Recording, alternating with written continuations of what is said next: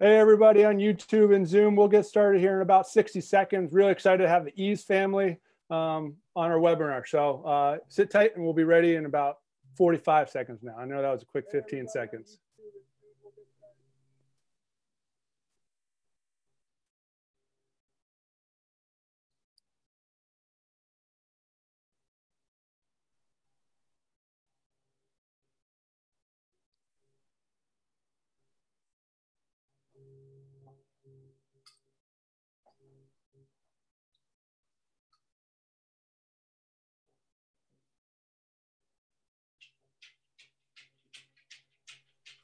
Okay, welcome everybody, everybody to the USA Hockey webinar series presented by BioSteel and Pure Hockey. Excited to have the Eaves family on, uh, Mike, Beth, Ben, and Patrick Eaves.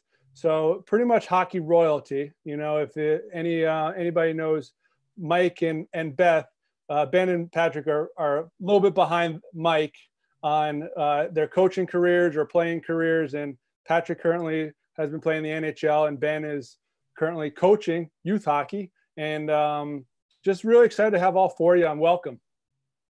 Thanks, Thanks Dave. Dave. Good to be here. Thank you. So, so we're going to start something a little different since we have everybody knows each other. I want you to introduce each other. So first, Patrick, I want you to introduce Ben, and then Ben, you're going to introduce Patrick, and then both of you are going to introduce your parents. Perfect. Perfect. Well, uh, Ben is my older brother by two years. Um, he is my best friend. Uh, he's a lefty ping pong player, even though he played hockey righty. So you got to watch out for that.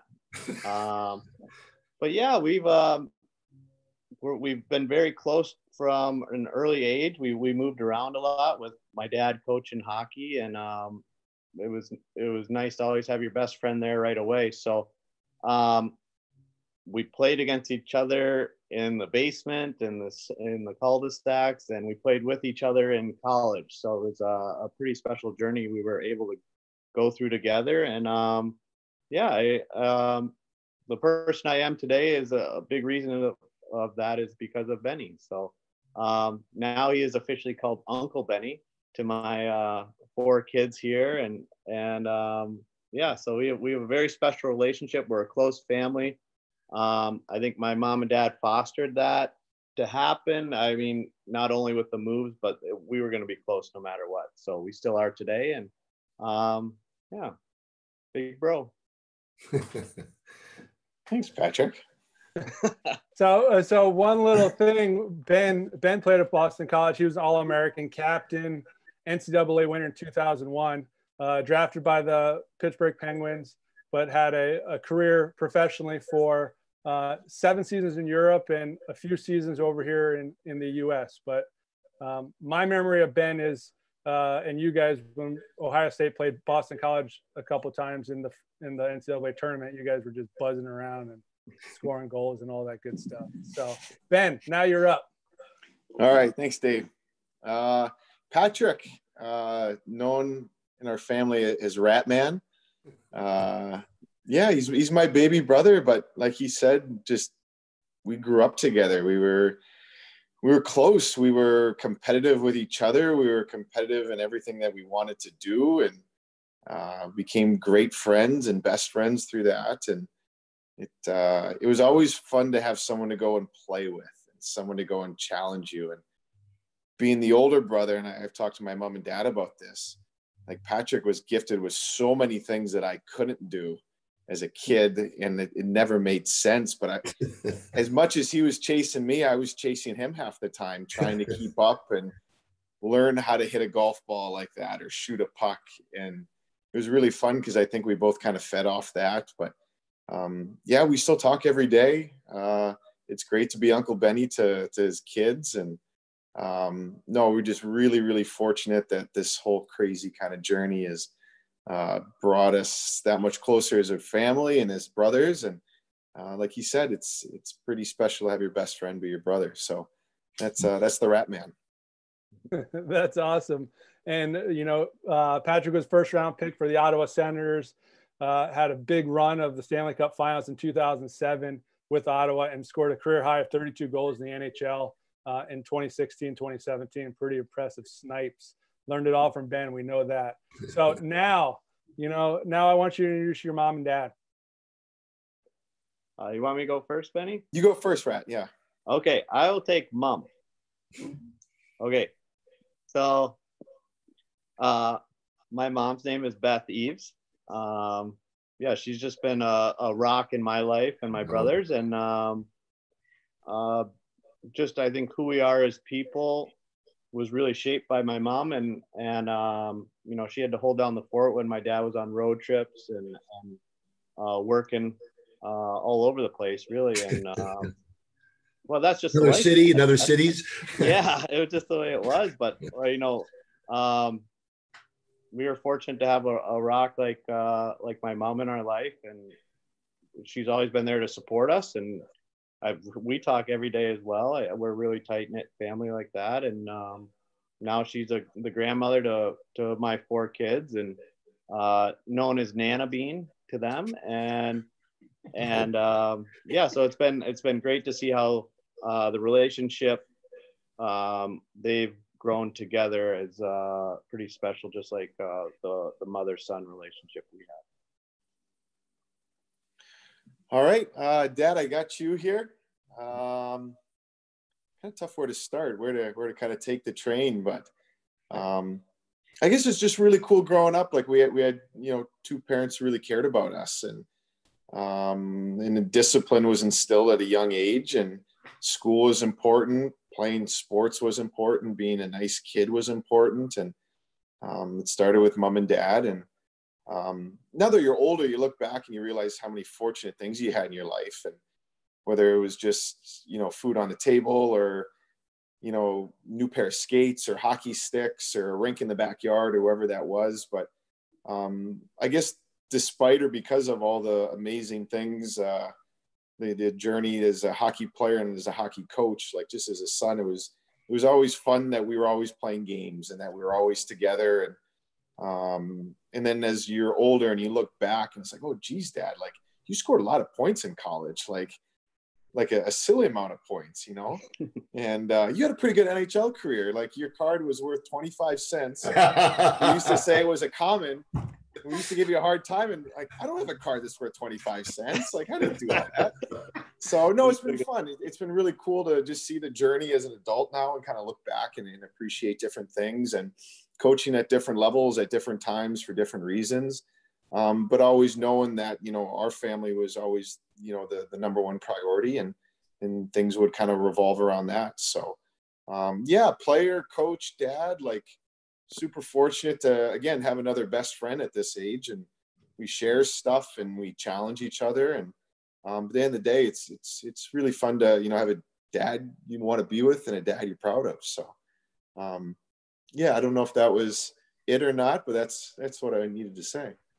Yeah that's really good and i can i can throw in all the accolades now for you you know? Good. So yeah mike had a, a great career playing in college but also playing professionally and coached at many different levels NHL, NCAA, uh, our World Junior team, coaching his son Patrick um, for a gold medal, and then also the U.S. national program, and had stopped for the Division Three uh, a couple years ago, and then now he's the Cleveland Monsters um, head coach. So that's really exciting, and just just want to Mike and Beth, can you just talk about how you know with uh, Ben talked about having family first, and you know hockey second. How did you set that up, and what was kind of going through your mind of being parents for that? You know, with hockey so important in your lives. I will. I, am going to jump in first, kind of set Bethy up here because w- as far as that aspect, uh, you know, we, we were in a position where we, we, made a decision that Bethy, if possible, would stay at home and, and be with the kids, and that was uh, we, we, were blessed enough to be in that position to be able to do that, and uh, I mean, there's so many stories, but but Bethy was a rock at home, and I think the boys know this story. When we were in, in Hershey in the American Hockey League, you know, in the American Hockey League, there's a dozen nights throughout the year you're getting back at 4:30, 5 o'clock after a bus ride home, uh, after playing three games and three nights, and I would come home and I would wake the family up. Bethy and I would get the boys dressed. You guys were about squirts, weren't you? Squirts eight, eight, nine, yeah, seven and ten, seven and nine, something like that. And uh, we put all their stuff on except for their helmet, and we would get get them in the van. We had a conversion van, strap them in the in the captain seats, and Bethy would leave and drive to meet the other dads at the Kmart and go like to Baltimore or somewhere like that to play a game at seven o'clock Sunday morning. You know, I mean, that was that's an example of just she was there. She did those kind of things. She was many times the only mom there. The other dads, you know, uh, they they were they were able to be there. I wasn't, but Bethy was that that backbone of, of, of stuff like that in our family that carried we could sit here for the whole hour and talk about this stuff, but uh, she was that for us. And it was the boys know. I mean, heck, we we lived apart for two and a half years. I was in Pittsburgh uh, with the Penguins, and we had just left Finland. Uh, we had a two-year deal. After one year, the school just wasn't work out. So we had been at Shattuck. The, we decided to send Bethy and the boys back to Shattuck so they could finish and uh, I was going to stay in Finland. Ended up in Pittsburgh, and again, she was a dorm mom in a male dorm with 90 boys. I mean, you know, she did that. There was, uh, you know, she was the first woman dorm parent in a boys' dorm there. I mean, that that's another story in itself, but she's always been that backbone. So that that's a little introduction, and I'll have you piggyback off that if you want. I don't even know what to say. what was the question? no, we, we've had we've had great fun yeah. through these escapades, and and I, I think it, it brought us uh, close as a family because we were always together on these treks. At least the boys and I were, and um, we had fun. I mean, man, we had fun. We met great people along the way. Um, uh, the Giantas, um, the Stewarts, uh, the McDonald's, um, just great people along the way that really enhanced this whole journey. Um, so it's just all, it was fun. Yeah. And it probably wasn't easy. I don't know. I never thought about it at the time. It just, we were having a good time. So it seemed like a thing to do. That, that's awesome. You talked about your time, one at Shattuck and one in Finland. Can you talk about both of those times and, you know, what was your experiences for all of you? So maybe Mike, you start kind of set the table what, what was at Shattuck and then we can go from there. Yeah, it'd be what what's fun about doing this is to hear the boys' perspective because you're going to hear what we thought as grown-ups, but then to hear the boys, and we kind of talked about a little bit, but we had been we had been uh, with the Philadelphia Flyers for six years and then uh, they weren't going to hire us back, and we ended up deciding to make a decision. The family go to Shattuck. Craig Norwich was there at the time. We had been teammates at uh, Wisconsin and had open positions, so we decided to go there. We had actually worked some summer schools with Grant Standbrook there, so we knew the school a little bit. So we decided we'd head there. So we'd been there two years. Boys just loved it. I mean, we lived in this little cabin that was uh, 100 yards from the rink, 50 yards from the tennis courts 75 yards to the school. The older guys would come and get him and play with everything. It was like heaven for a kid. And uh, then one day I got a call from Billy Zito, who ended up being the boys' representative uh, uh, as a player agent. And he asked, uh, he had a good buddy named Jarmo Kekalainen that was going to be the GM of a team and pro team in Finland. He wanted an American coach and if uh, would be interested. I said, Billy, we just been here a couple years. Kids are having a great time. I think we're good. So at dinner that night at the cafeteria, I was explaining this to Bethy, and she goes, What? A chance to travel abroad and play? What a great opportunity. You got to call them back. We're and I was I was like, whoa, whoa, whoa, wait a minute. What about no, we're gone. oh. I got on the phone the next day and uh, talked to Billy. Then that started the process. Um, and we ended up going over there for uh, for a year. Uh, perhaps again, as Bethy said, maybe one of the hardest years we've ever had, but one of the greatest awesome. years we ever had. It was awesome. So you, you want to? Yeah, no, you nailed it. Yeah, it was very, it was hard. The language was hard at that time. Um, not many people spoke English, and if they did, it was very short um, conversations. Hello, how are you? I am fine. It's since, of course, changed um, so it's very different. And we we come home, the four of us would come home at the end of the day and laugh about all the dumb things that we did that are perfectly normal here, not a part of their culture at all. So we'd laugh about the dumb things we did today, you know. It, it again, it was another great bonding experience. And the boys I know had a ball. Ben, Ben, do you want to share your experiences? One at Shattuck, and then uh, we can we can go to Finland after that. Yeah, we were talking. We were kids at Shattuck.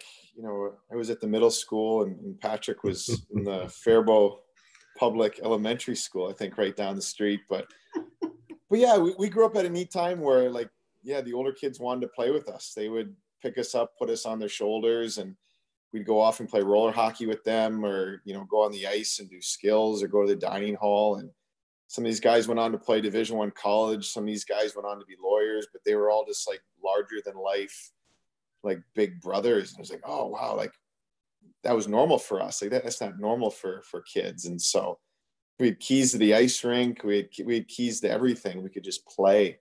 And so we were super fortunate there. I think the house we lived in had rats in the basement, and mold, and like all that stuff. And like none of us, at least me and Patrick, could have cared less because it, it would put us in the epicenter of fun and play and just opportunities to, you know, kind of start to become like a, a young man. But yeah, that was special. And then, you know, flip it on its head, you know, going to Finland was the first six months for me. And I know Patrick will have his own thoughts, but it was, you know, still to this day, you know, the hardest thing that um, I've ever done and like had to survive almost, you know.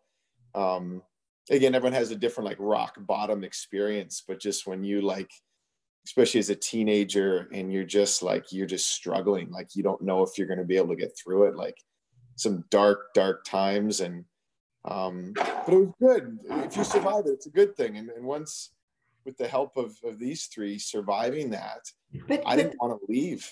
Well, I think too, Ben, the reason it was dark is because as a teenager, the kids wouldn't talk to him. Because if you said something that wasn't proper English, then you were afraid that the other kids are all going to laugh at you. So nobody talked to him for like six months. that that's what made it so yeah. difficult. You know, you're in a locker room, nobody's talking to you, you know just lonely. Like it, it was, it was good. It was a perspective. The darkest winters you'll ever see. Yeah. So lonely. You got you walk into a room, it goes quiet in the locker room. it's like you're 13, you don't know what to think.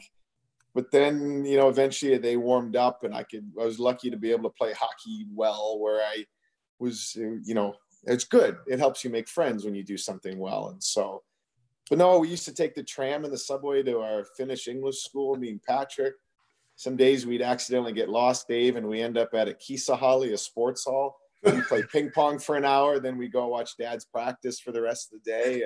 And um, no, it was great. Again, it's one of those things where sometimes the hard is what makes it really special. If you are able to get through that, and still have friends that I talk to this day. And I think from a development standpoint, on and off the ice, again, we we won the lottery with that year, and um, you know, from style of play to development of what the drills and skills we were learning on the ice as 13 and 11 year old with the Finns. I mean, it was, it's just out of this world and uh, so difficult. But on the other side of it, like, wow, that was, that was something really special. So those, those are my experiences, Rat. Yeah, no, that was, that was great. I mean, like all three have said that the, the Shattuck experience was wonderful. Um, just because it was a giant playground and um, for me i mean i i just had a blast there like i i we'd go skate and then we leave and then i go play tennis with the girls tennis team they'd let me jump out there with them and then you just yeah and then i would jump on the ice with dad's team his midget team at during their practice and move pucks around and then it, it was just a it was just a wonderful experience and um, it was yeah, it's something I'll never forget. But Benny and I just ran around and played. It was just a giant playground. That's all it was to us. And um, that was the first house we ever had our own rooms too. So I think that's why we didn't care about the rats and all that stuff. But that was pretty cool. But yeah, so uh, and was that the year we played for Faribault together, or were you on the Shattuck? One of those years, yeah. Yeah, one of those years there. Yeah, yeah. We had great great teams. I mean, we had a bunch of kids that went on to play Division One college from a small farm town, and uh, I mean, to this day, we our, I think our Peewee team we still keep in touch with. so um, it was it was just an overall wonderful experience, and um, then we got to hang out with the, with the older guys, and I just remember I they, we'd play roller hockey, and I'd be the goalie because I wasn't very big at ten. But they'd put me on the shoulders, they'd rollerblade like a mile over to the the middle school and just throw me in net. So I was in heaven playing with all the. And then um, then we went over to Finland, and I think it was the flight over there. I, weren't we in the non-smoking section? but it was like right in front of the smoking section. They're like blowing like smoke over us. You remember that? oh, I was like, man, this is a tough section to be in. It was in the back of the plane. Yeah, I still remember that. So we got we got off like what an eight hour flight, smelling like a bar. And then it was like, okay, where do we go next? And jet lagged. And I think right away, Benny, didn't you have to go to like a training camp like the next day when we got there? So they, so Benny and I got split up, which was that was hard because he went up north, I think, for a, the the team camp, and then I was the next week after that. So the first two weeks were, you know, we were very out of our comfort zone. Um, but it was just a wonderful experience looking back on it. But right away, yeah, it was it was tough. Um, I'd say that's we we became very close then. I think that was like a, a huge transition, or not transition, but like a huge year for us because we were all we, we had, and and we would hang out all the time. And like Benny said, we would, you know, we'd we'd go on the tram and we end up at some like playing those slot machines gas station. David, we're just learning about this now. This is yeah. yeah. Oh, we'd show up to dad's practice at like noon and he's like, oh, don't you guys have school? And we're like, oh, they let us out early. Like we didn't know what we're we, so it, it was a great experience, but I'd say hockey wise, it was, um, it, at least for me, it kind of changed my trajectory of, of play. Like they were, their skill development. I mean, every, I remember they needed to even have goalie coaches for the play. Like that was not every team had their own goalie coach, which was mid '90s youth hockey goalie. Yeah, coach. like that was on. I remember I was like, "Is that the goalie coach up here?" Like, when did they get those? But it was just it was fun. Like, and I, we, I had great coaches, so I was very lucky. You know, they'd go up, do the drill on the board, and finish, and then he'd come over and be like, "Patty, get in the back line," but this is kind of the gist. Oh, okay. So it was it was um it was great because I, I think it then replicated when I turned pro for the first time. Like it was a whole new language once you turn pro from the college game. And and my dad, I remember right before training camp said, you know, keep your mouth shut and your ears and eyes open. Like that that was the one thing I remember you said to me before my first training camp.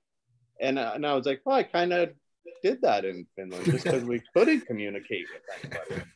Um, but uh, you know, for me, I, I was at a younger age where the kids didn't feel awkward to mess up trying to talk to me. So I had a different experience in the locker room than Benny, where they were all just silent. And they're um, Finns are silent until you get to know them. That's just kind of how they are. And and then once you're in, you're in. I mean, we they're just the greatest group of people, but um, they're shy at first, and I totally get that. But I, I I had a great experience with with the team I was on, and um, yeah, the, we were just a goofy bunch of 11 year old kids who like, we, it was, yeah, we, it was just a fun time for me. But I remember, what was it like Wednesday nights, mom? Didn't we have to like drive like all around town? Yeah, we get... drove. Yeah, we drove um, P Island. Yeah. the rink was in a, a old uh, ship hangar. and then we drive to the other side of Helsinki and I forget the name of that rink, but we had to drive the whole city like twice yeah. in one night. And this, you know, it's a major European city. You don't know where you're going, or we figured it out, but yeah, was, there wasn't like Waze or anything back then. Yes, I mean, we were just like, oh. David, David, they were finding they had to go to rinks that were in bomb shelters that were five yeah. floors down in bomb shelters and stuff. They're like, "There's the rink," and we're like, "What do you mean? There's the rink? It's like an elevator shaft." And they're like, "Yeah, there."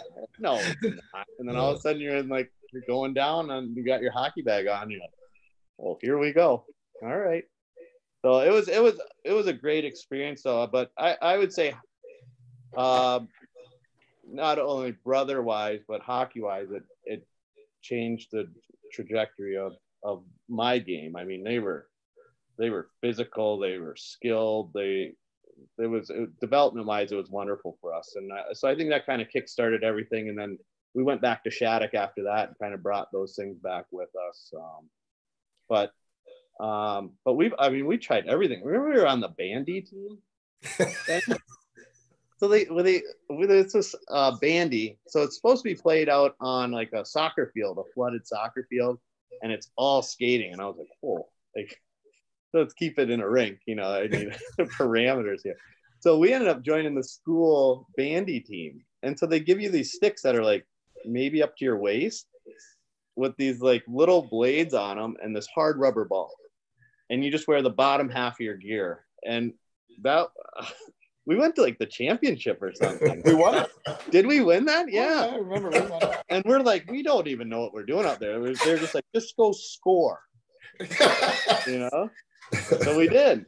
And then, uh, and then I ended up joining like the Salibandy team, which was like the gym version of that. Remember those little plastic sticks? So we just tried everything because we were so far out of our comfort zone. It was like, why not? David, David, there's there's a common denominator here. If you if you think about Shattuck and, and in Finland, it was it was about having fun. Fun is the common denominator, no matter what we did. And and, and I'll finish this part if, if if you want to keep going on. There, we lived in this two bedroom apartment, and and and in the middle was a courtyard, and there was two poles, and they were they were for badminton and but they didn't have the net up so we had some the the Salibandy sticks, the little plastic sticks, and a and a and a wiffle ball. Wiffle ball and yeah. we would we we made up a, a, game called ping ball. So we would play one on one. It would be me against Ben. Ratty would be the he would be resting, and the idea was you had to get up close near the pole and, and shoot the the wiffle ball. And if the ball hit the pole, it made a ping sound, and that's when you know you scored. So we'd play up to three, and then we'd rotate in. Oh, and people in the apartments are looking out of their windows at us. What are those crazy Americans doing down there? But we would scream and laugh and but that happened at Shattuck and in Finland and going back. It was always about the fun in, in growing up with these boys. Well, that was that was your thing, Dad. Like everything was a game. I mean, we last time you were out here, we were in the garage, and your mom, how old's Gams? 85? Yeah.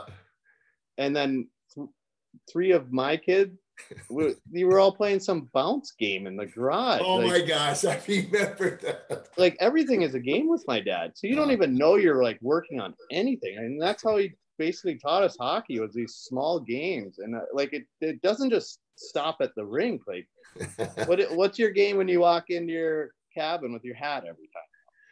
Oh, uh, who told you about that? Well, you were showing me the other oh, day. Everything is a game to you. It's so, Dave, you know, you got three hooks in behind the door. So I'm about three yards away and I take my hat and I throw it. And I try to land it on the hook. I'm pretty oh. good at it, Dave. Like if there was a pro sport, I might be able to be somebody there. but that's everything, though, Dad. So it was all fun because everything was a game. Yeah, it was that was our childhood. Was just small games, and it didn't matter if it was mini sticks to uh, capture or your or what capture the dragon on the ice with we had names for everything. How about how about this one david? So we had a we had a cul-de-sac in hershey. And my uh, my mom was about oh. uh, maybe 70 then. And we had a we had a net out there and we the our we had a great big golden. And uh, she would play with us too and we would play two on one and my my mom would play. The boys gave her the nickname of the hacker. Because if the boys took the ball from her, she'd slash them. She'd right on the hand. Get the ball back. yeah.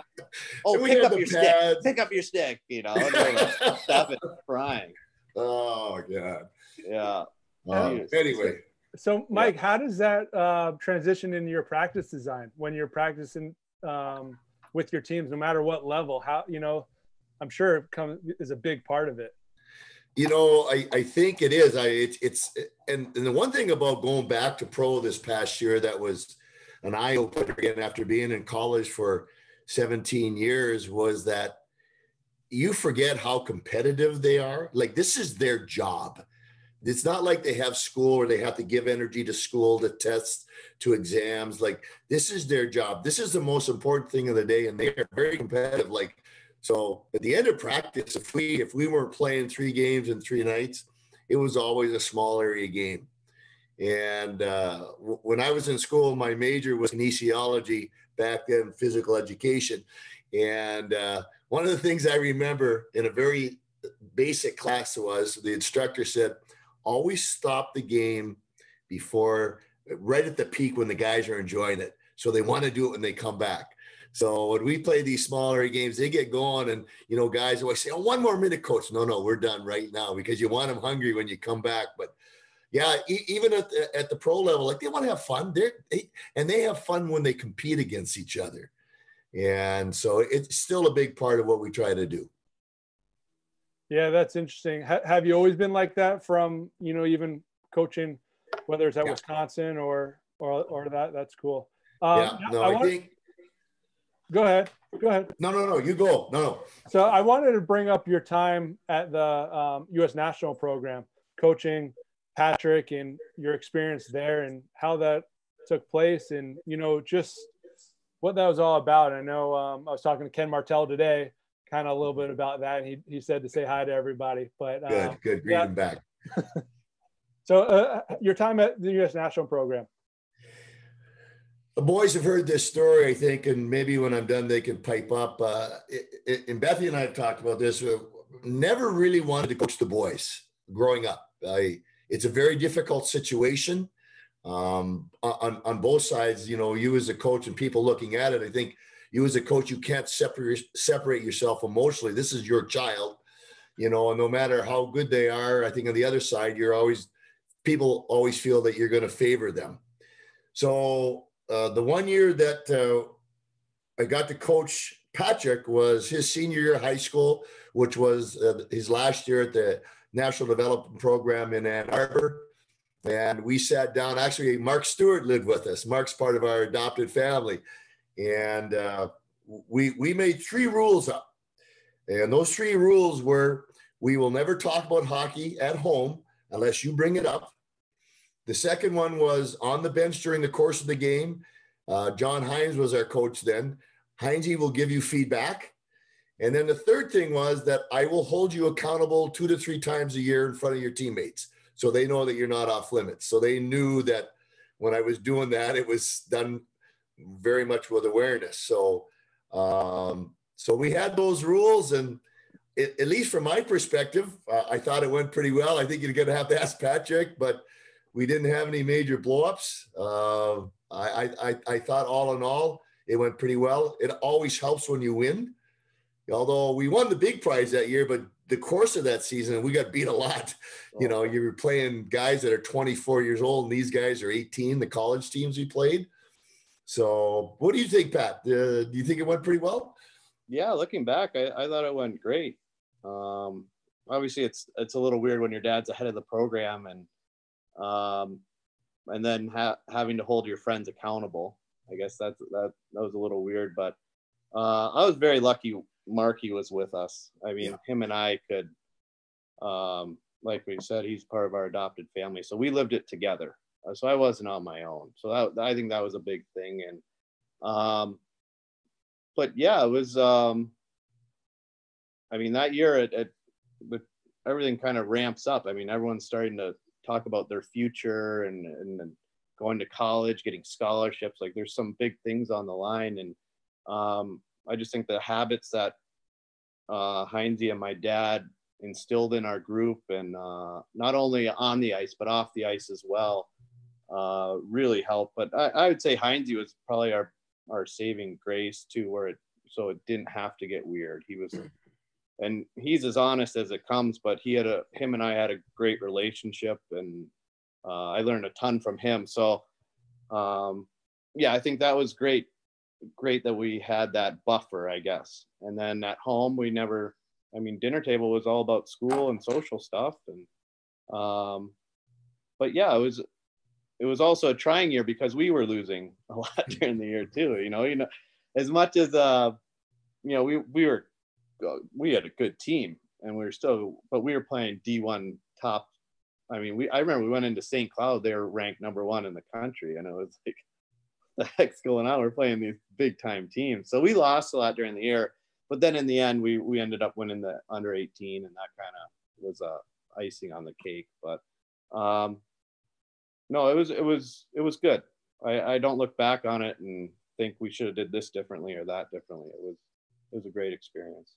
You know, it's kind of interesting as you guys talk about that, like in between the lines from my perspective, you know, having been at the younger ages again, trying to understand where youth hockey is and AAA hockey is in the US. Like you said, you were 18 and you guys were just starting to talk about your future. And you were talking about, geez, maybe college is a thing. Yeah. And like, I didn't, I don't think we hired Billy Zito as our agent until your freshman year of college. Like, like the, just the what I've seen Dave over the last couple of years is the you know everything's accelerated so quickly and the fact that Patrick is a first round draft pick is a 13 year NHLer was just starting to think about like maybe I'll talk to an agent or what colleges should I look at you know when you're 18 years old like I, I feel poorly for a lot of kids who are accelerating in that whole realm of it instead of enjoying the game, getting better at the game, like having fun with your teammates and really pushing yourself. And just for me and listening to you talk there, Rat, like that's pretty cool. Like we, you didn't have that pressure. Right? Like people didn't have the pressures that kids do today. You could just focus on the game and learn lessons, and that stuff will be there afterwards. You know. Yeah. Well, you know what? I I sorry to cut in and and kind of move back a little. Before we went out to the U.S. program, we were at Shattuck, and looking back on it, and uh, so you, what was it? You went freshman year to graduate, or sophomore year and graduate there, Benny? Is that right? Yep. Yeah, sophomore. Yeah, junior, senior. Yeah. And then I was eight, nine, ten there.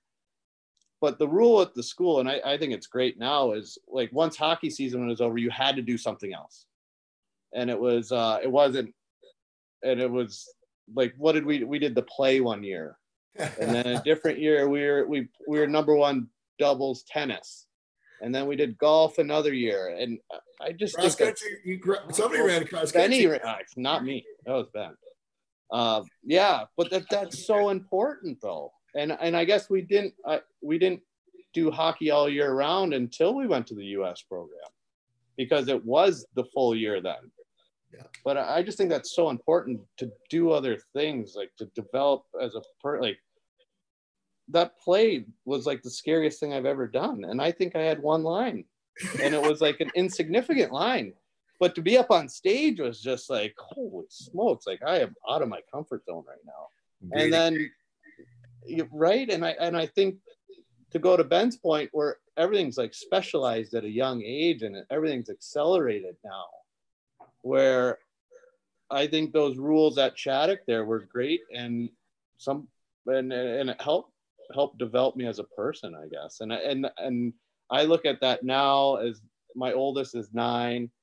Um, you know, they're starting to want to have you commit all year round. And I was like, whoa, whoa, whoa, this is like she's nine years old and you know, I, I want her to do other things. So I guess I would rather have her do a lower level so she can do different more things or different things.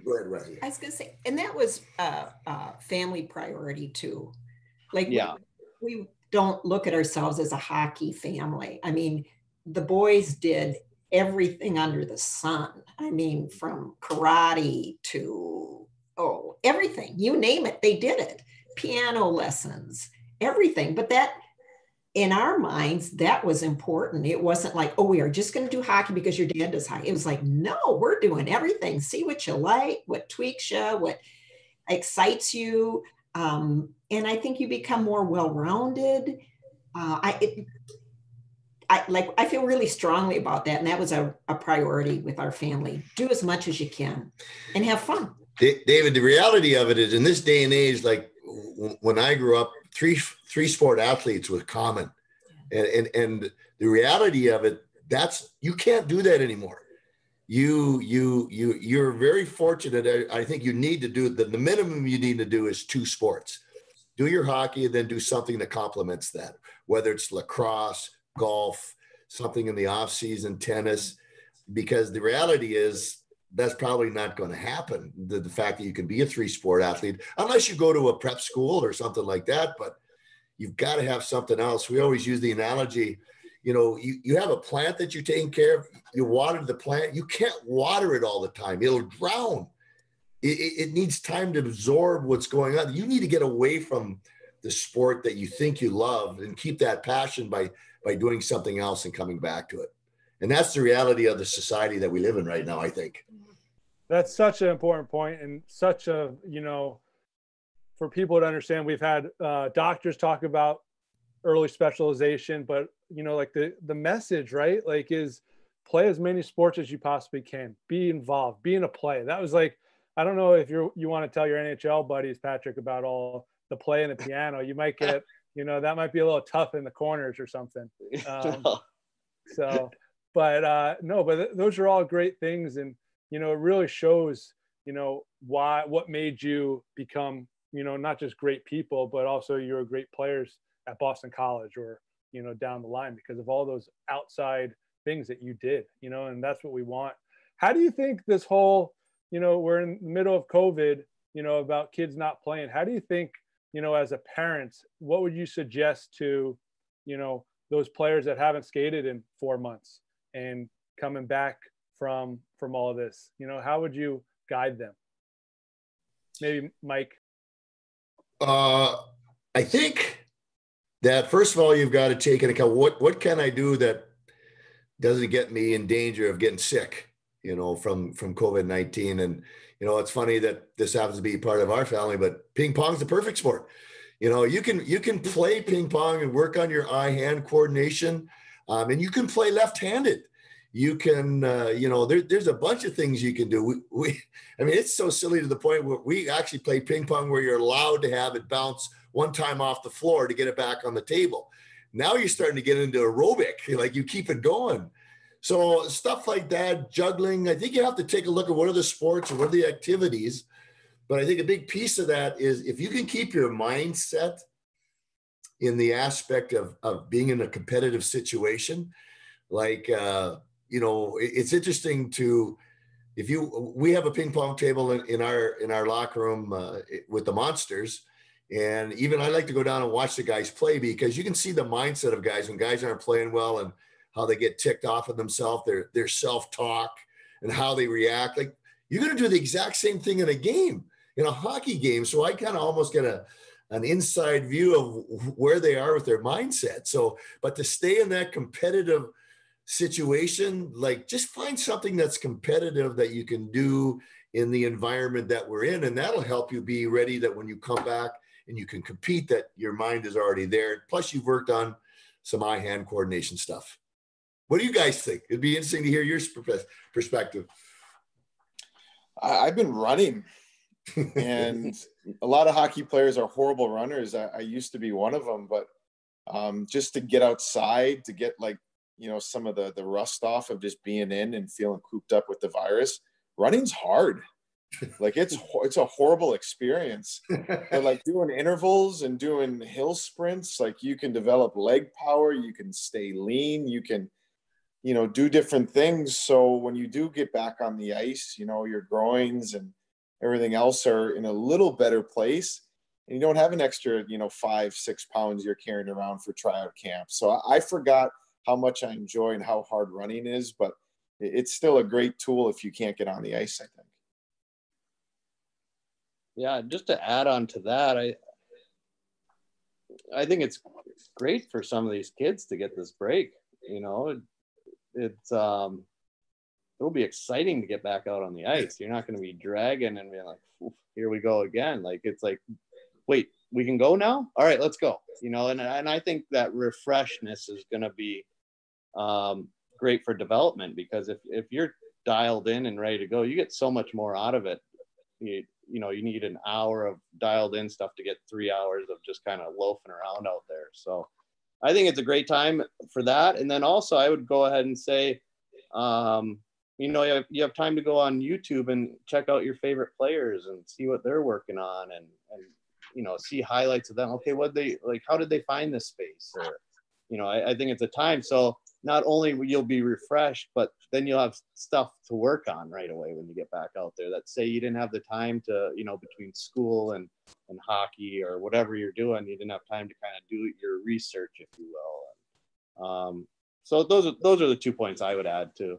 But yeah, you know, with Benny, you're out there, you're doing, you're outside in the fresh air, which is great, and our sport doesn't allow that. But you're out there doing something hard, and uh, you know, our sport is hard, so you don't lose that. And then, you know, with dad, it's all about competing. So um, you can compete in anything. I mean, we were playing what the ping ball, and those are pretty heat. I broke a couple sticks over over the over the pole. You know, you're you're competing. So I mean, you can compete in anything. We uh, uh, we compete pretty hard in the card game Uno, so we had to outlaw that from our family.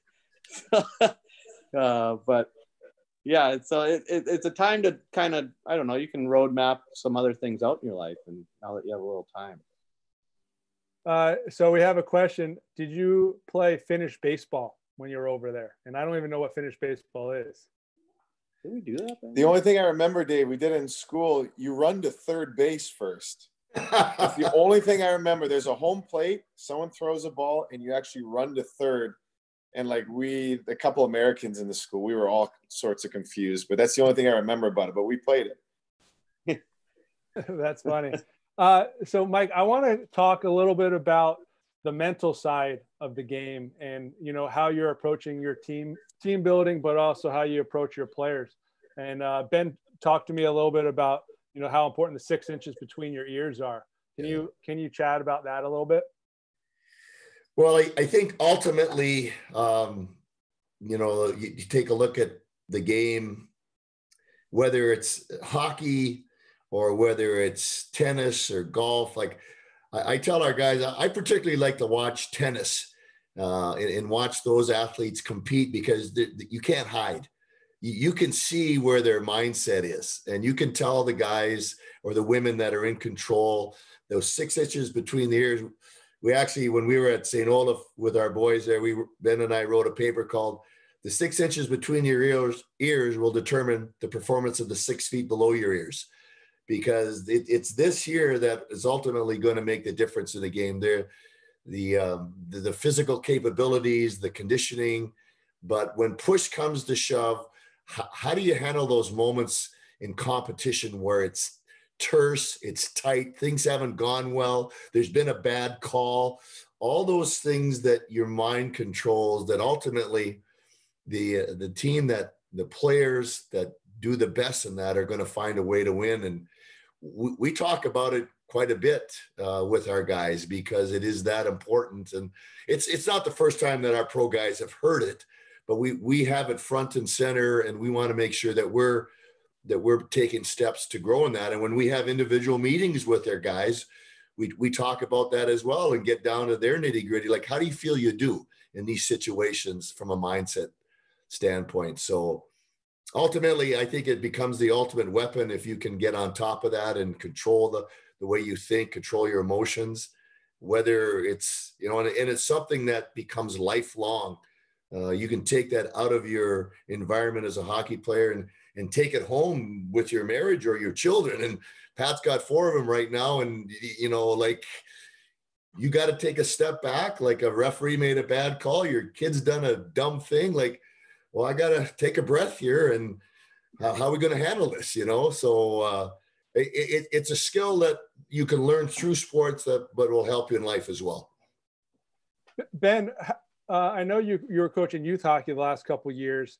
How do you try to instill that within those younger players? Hmm. This is a tough. Well, it's it's actually funny because like at each like you know at a, a 16 year old is different than an 18 year old. You know, being at Miami University, like like the college kids have their own mental challenges, and it was actually been fascinating to go through, you know, from Division One, Division Three down to you know 18, 16, and and just try to meet them where they're at in their whole emotional, mental, you know, spiritual development. But the thing that I found with the 18 year olds this year, 17, 18 year olds is um, like they, they, they have zero emotional control. You know, they're, they're, they're trying to figure themselves out. They're still growing. There's girls, there's school. there's everything, but but their self-talk is, is horrifying. Uh, they don't know how to calm themselves down, and when something goes bad, there's usually a response that is 100% negative. And just to create awareness around that, um, you know, sometimes this year was putting an arm around a kid and saying, "Hey, like, like you get another shift. Like this isn't pro hockey. I'm not benching you for doing that. I, we need to learn from this." Another time, it's grabbing a kid and saying, "Hey, if you slam your stick one more time, like you're done for today. You're going to the shower," and it just kind of it jolts them, you know. But they they have all these wild emotions. It's like a wild horse, and until you actually learn how to control it and tame it, it can be your best friend or your worst enemy. But it's just fun to just introduce stuff, and you know we've always talked about just planting seeds, and you never know when they're going to sprout. You never know if and when a tree's going to grow. But you just try to, for me, just try to be a positive, just enforcement of, hey, this is all part of it. This is what all athletes have to go through, and this is going to decide whether you go to the next level or you don't. I promise you that. And so the awareness was key, and then just the repetition of um, just paying attention to them and knowing that they're suffering, and then trying to help them navigate through that a little bit better. Patrick, do you have anything to add on your experiences playing now at the NHL, but with your young young kids, how you wrap that all all together? Yeah, it's, it's interesting because um, you know we raise them all the same, but their wiring's all different on the inside. you know, my oldest is um, she's a worry wart and you know gets nervous when things. Uh, you know, if she's doing a swim race at the local swim team, you can see her shaking her hands, and getting nervous, and then, um, you know, thinking about everything that could go wrong. And then my my daughter underneath her, who's eight, is just like, "Bring it, let's go," you know. And you're like, I've raised you the exact same. Like, why is she all nervous over there? So it's um yeah, it's just been it's just been interesting with that. So we I try to talk to their my my two girls are eight and nine, and um, you know, I can start having conversations with them about that. I, about the mental side of you know whatever you do it doesn't matter if it's sport or or school or whatever whatever comes into your life everything's all mental so um you know, David, I, if I could, like, I want to jump in with you, Patrick, here because I think this past year, your role with Anaheim was a little different, and yeah. even at, at the top level, the highest level, you can you can attest to some of your conversations with your own teammates this year about it's still it's a work in progress even at the highest level, is it not? Oh, absolutely. I, I would say my whole career I was still progressing mentally. Uh, yeah. yeah, I was always trying to grow and I think that's the driver to the game. I mean, to any athlete, it's it's, it's their mental makeup and um, their resilience when things go bad, and not not getting too high, not getting too low, and and understanding that it's a long grind, and um, you know, decompressing after a playoff series or rivalry night. You know, we're playing LA somewhere. You know, those games are are emotionally very draining and you got to come down from that and then you got to reset for the next day. Hmm. then you're playing the, another great opponent. So um, yeah i think my dad and brother hit on it. It's that six inches between your ears that drives everything. And um, but I don't, I don't think you ever get to a point and say i got this. I'm all set. You know it's it's it's always a work in progress and uh, you have to look at it that way. That's all that's all i guess i have to say about I love that. That's really. Thanks, first. Had to throw it in. oh man. Um, hey, Mike, can you talk about kind of your the culture that you want to set with your teams, and you know, it could be at the pro level, but also, you know, you had a lot of experience at, you know, I would I would say college hockey is more youth hockey than the pro. You know, how does that all work, and how did you you know want to build that and how did you communicate that? Well it's a, we're talking about a process. It's a, it, it's a it's a long one uh, to, to create a culture. Um, and i think it's probably one of the more important things that you you do. So like last year once again i was going into a new situation with a new group. Uh, didn't know the coaching staff uh, didn't know the players uh, knew some by name.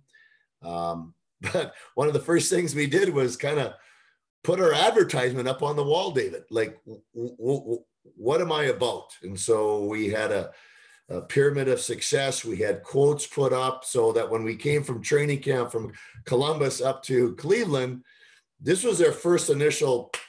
Okay, this is who we're about, and now we have to we have to start the process of going through that. And and I think sometimes you know there, there's no secret formula. You go back to what you believe, and you you share with them why you think this believe you you you sell it to them. You don't tell it to them because i think they want to know what's in it for them and why is this going to work? How does this make us better?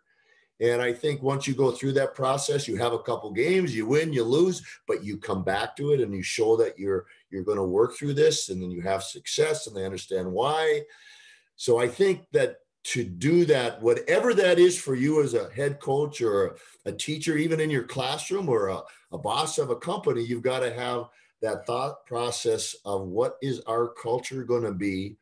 And then sell it to the people you work with to have them believe in it as you as you work through day-to-day stuff.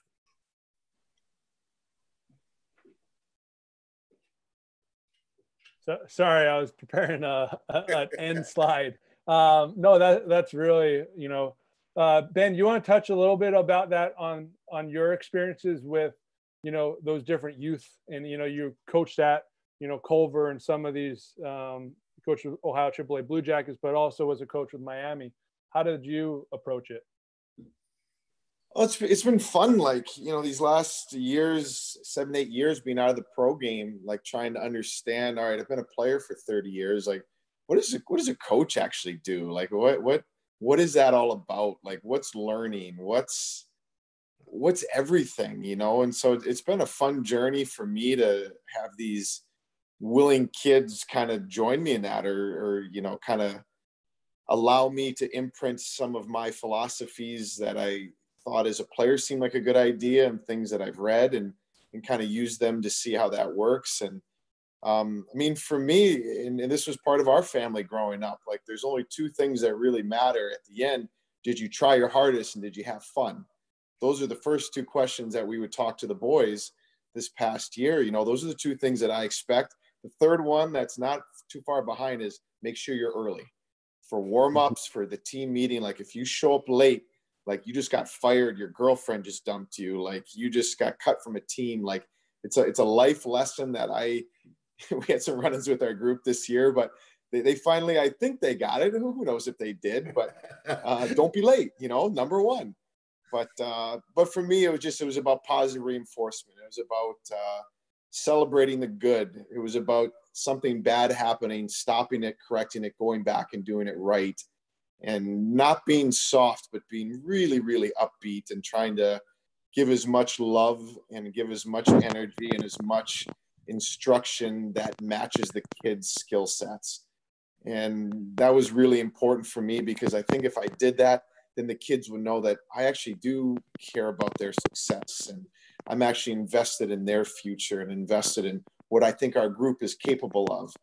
And once, and again, in my limited, limited youth coaching experience, once you have that with a kid or with a team, like all bets are off. Like then you're able to go to different places together because there's there's that deep bond of trust of when you decide to push down on the gas and challenge them I mean, I saw some stuff this year from our kids that, again, like it would bring tears to my eyes to retell the stories because they go to places and do things that like awe you. And it'll be fun to do that at any level because I think you can get that response once you have that trust. And we talk about it. We send articles and watch All or Nothing on Amazon and read about Pep Guardiola and Jurgen Klopp and Eddie Jones and all these, you know, master coaches. I'm like, what are they doing? Like, how can we do that? And so I love learning about it, but at the end of the day, you want to positively impact somebody. And if they actually believe that you're there to help them, I think you can open up the door to do some neat stuff. That's awesome. That's really Patrick. Are you going to coach once you're done playing hockey? I don't know what I'm going to do. Still trying to figure it out. I, I dipped cool. my toe in a little bit this year. I was uh, I was fortunate enough to um, Dallas Eakins was and Bob Murray were nice enough to let me come in and um, help out with the team on home games this year. So, um, yeah, I, I, really enjoyed it and got to be around the locker room and the guys, so it was fun. David, I have to give a little shout out to Mrs. Eaves. Ben talked about the two things that Ben asked his guys: have fun and work hard. That's that's the only thing she would say to the boys when she dropped them off at the rink. when when mothers would ask me, you know, Patrick playing in the league for whatever 15 years, well, what do you say to him? I said, well, I say the same thing I said when he was a little boy. I said, okay, Patrick, be the hardest working guy out there. This, you say that to your son? Yeah. You've been saying it for years. Yeah. Yep. That's really awesome. Beth, uh, or all of you, we're going to probably close down, but I really want to ask Beth if you had to give some um, advice to the moms out there, you know, what would you tell them about having two sons playing hockey and, you know, your husband coaching hockey? I know, you know, it's hockey's life for a lot of these hockey players and hockey coaches.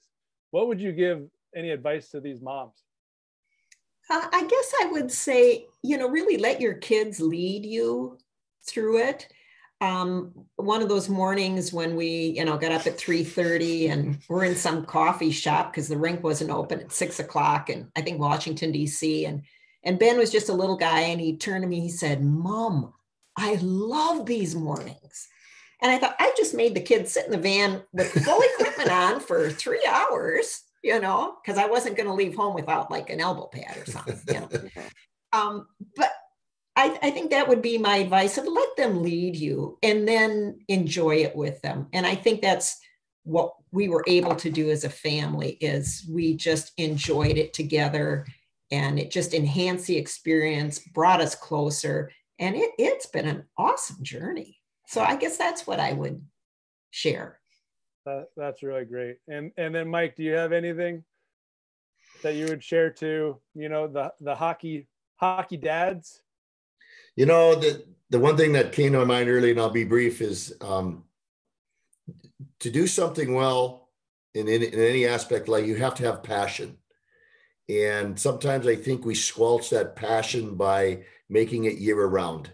Make sure you have balance. Keep the passion don't squelch it. If it's there nurture it by yeah. by doing other things and having some balance in your life. That's so. really that's really great. And i really appreciate spending the time all for you and um, hopefully i know there's going to be a lot of people taking a lot out of this because this is real life right? Like this is this is a hockey family. This is part of it and, and all of that. So thanks again all you. And i just want to thanks all thank all the the moms and the dads that help out with you know getting these kids to the, to and from the rink. I think it's a really cool thing, and we always want to thank them. Kids, if you're watching, make sure you thank your mom and dad for the time they spent, or whoever. It doesn't matter, whoever's helping you out. So, thanks again, everybody. Thank you, Eaves family. Much appreciated, and stay safe and stay healthy. That's a wrap.